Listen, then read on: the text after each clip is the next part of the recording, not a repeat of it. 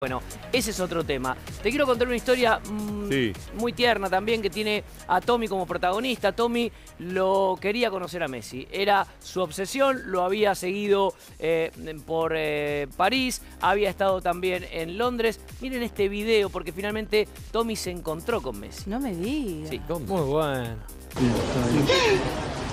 ¿De dónde son? De Campafé. Ah. Eso para vos, Leo. Eh, Dale. te cuento una anécdota rápida. Todo eso son dibujos de tus hijos. Ah, ustedes estuvieron en París. claro poco. que nos mandaste el Ah, saludo. sí, son dibujos de tus hijos que, si vos algún día los querés, obviamente no me dejaron imprimir en el hotel a color. Que Anto paró, una genia. Sí, me contó. este, Al otro día o a la tarde creo que vinieron a hacer una se El miércoles y nosotros nos habíamos ido. Y estos son todos dibujos de tus hijos. Y en uno dice Ciro, ladrón de Navidades. eh, que los tengo allí, me los voy a llevar. Y... Ay, por favor.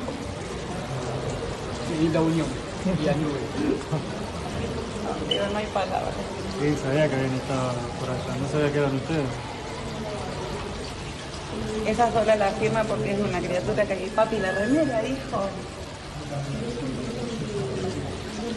Leo, sos lo más grande.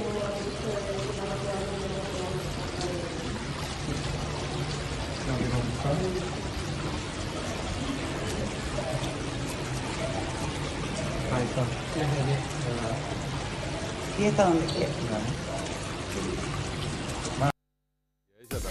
Ay, es muy Esto fue en lindo. España, Tommy Frigeri se llama él. Regalazo. Y en un momento, no sé si se eh, eh, alcanzó a escuchar, le dijo, ¿cuándo vas a venir a Unión? ¡Mi amor! No es Para tan bien. feo, Tommy, no Muy bien. Bueno, muy bien. bueno, Está lo siguió como te contaba. Por eh, París no lo pudo encontrar, estuvo en Londres, no lo pudo encontrar y lo encontró en España finalmente. Qué bueno. Y lindo gesto. de- Hermoso. de. Hermoso. La, para la charlar ahí con la actitud madre. de Lionel es, lo que tenés que destacar también. Él ¿no? es eso, ¿no? Muy, muy, muy Hermoso. generoso. Tal Él cual. es Bueno, eso. Y de está. ella, de Anto, que también le abrió la puerta, ¿eh? también,